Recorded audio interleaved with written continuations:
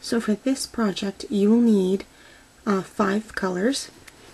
I'm using white for the petals of my flower, yellow for the center, green for my leaves. I'm going to do a pink ladybug and I need black for my ladybug as well. You can use any colors. These are just the ones that I'm going to use. These are all size 10 seed beads. You will also need a clasp of your choice and at least 2 meters of fishing line. If you haven't already, go watch the previous video that I made on how to size your barefoot sandal so that way you can make one that fits your foot. So to start, we're going to make the toe ring part. So you're going to want to bead on enough beads to make a toe ring for your toe. Here I have about 50 green beads and just let them fall to the center of your fishing line. Now what you need to close this off is you will need two black beads on one end of your fishing line and then take the other end of your fishing line in your other hand and you're going to pass it back through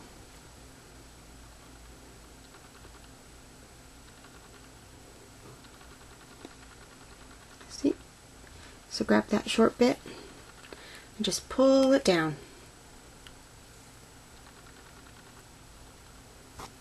Make sure your fishing line doesn't get tangled. But see, there's those two black beads. So next you need three black beads.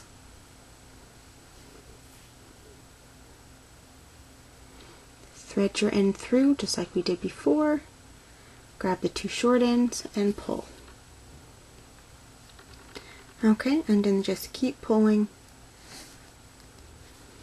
till it gets down to the bottom. So now what you want to do is you want to click the link um, and watch my video on how to make um, beaded ladybugs.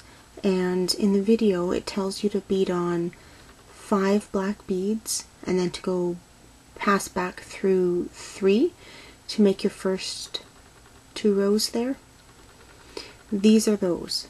So where it tells you to bead on the first five beads, skip that. And then what I want you to do is just to make one ladybug all the way to this back row and finish at that row of three. And then meet me back here. So now you should have something that looks like this. So what I need for my barefoot sandal is about eight and a half centimeters for the length between my toe and my anklet. This ladybug is equal to 2 centimeters. And this daisy is equal to 2 centimeters. So you can kind of figure out your pattern um, and kind of work it in so that it'll fit your foot. What you're going to do is you're going to use these green beads in the middle as spacers. Now in here, I have 8 beads, and for me that equals 1 centimeter.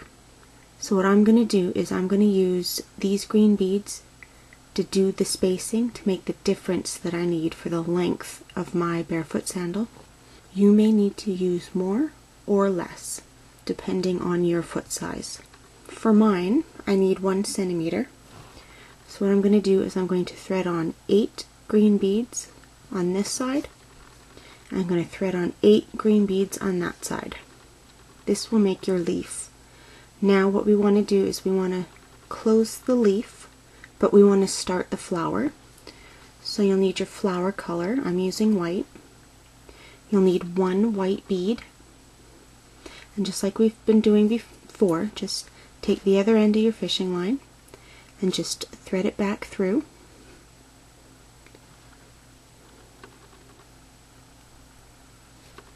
Okay.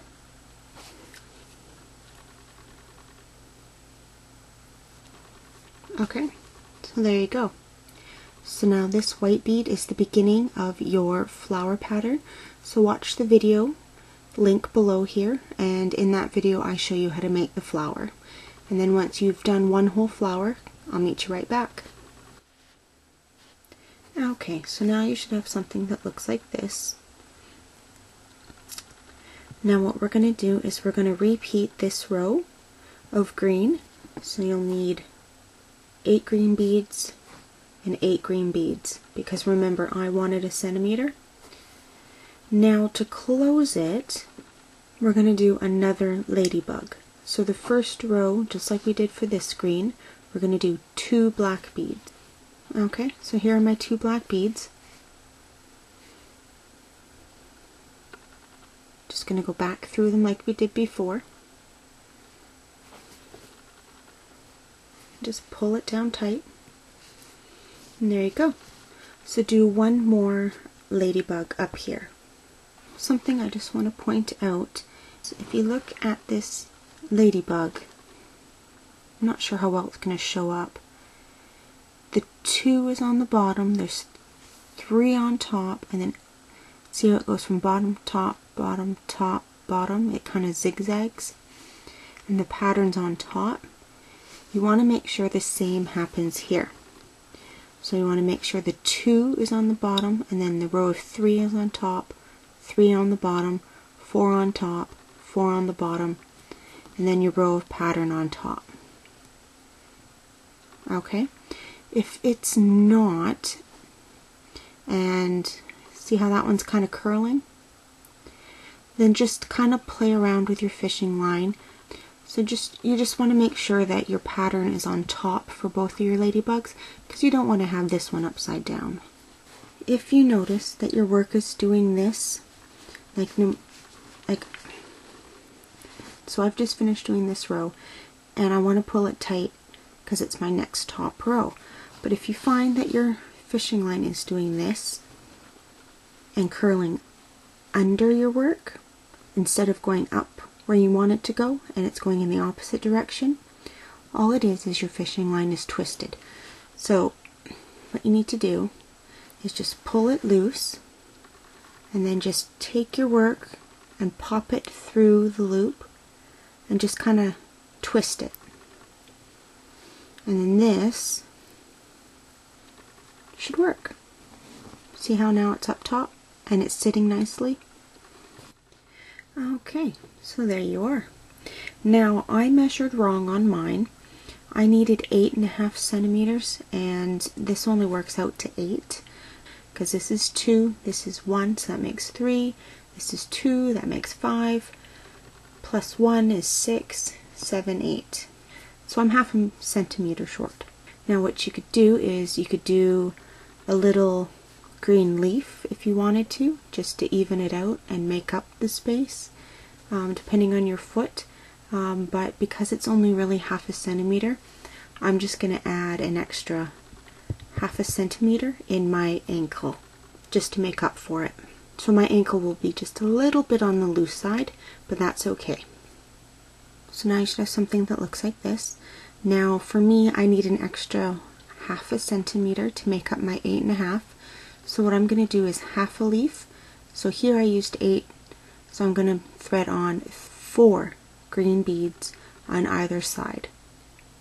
Take one green bead, and then with the other hand, like we did for all the others, you're going to put your end through and grab those two ends and just pull that down. Okay? And what that's going to do is that's going to finish off your leaf. So now what you want to do is you're going to do the anklet part. So for your anklet part, what you can do is you can do like a plain anklet or you could do if you wanted to carry on the daisy theme you could do just like a regular daisy stitch going up here and up this one that would be neat but what I did was I wanted to keep it simple so I just thread on enough green beads on either side to make an anklet. Um, in my case, it was about 11 centimeters. Make sure everything's nice and snug and down tight. So now to finish it, what you're going to do is you're going to take one end of your fishing line, and you're going to take your clasp, and you're just going to thread it through.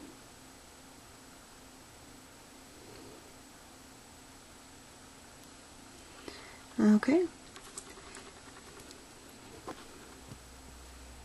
Make sure everything's nice and snug. And all you're going to do is tie a knot. And you're going to do the same thing to this side. So now you should have something that looks like this. All tied up. Now once you've tied a couple knots on either side, what you're going to do is you're going to take your, so this end we're going to take, just trying to hold it here so you guys can see.